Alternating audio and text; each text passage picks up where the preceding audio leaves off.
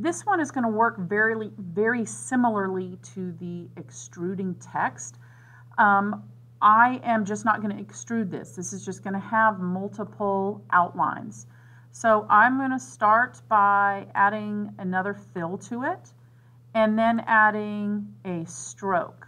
And this time I'm going to make the stroke yellow and I want to increase the font of it, or sorry, the side weight of it. Um, and I'm going to drag it underneath this fill.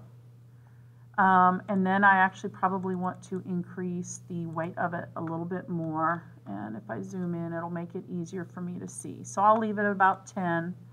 And that's going to, again, it's going to depend on what kind of font you use for it as well.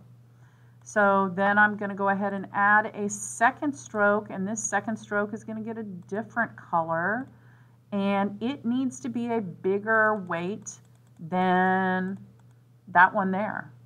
Okay, so this one gets double the weight. Well, what happens, maybe, hang on, maybe, maybe I reduce it. Maybe I do it about half.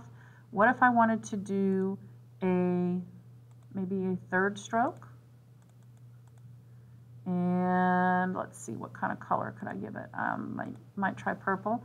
And then that might be about the last one that I can do because it no longer fills in. There's some places where it won't fill in anymore. So I can make that about 21.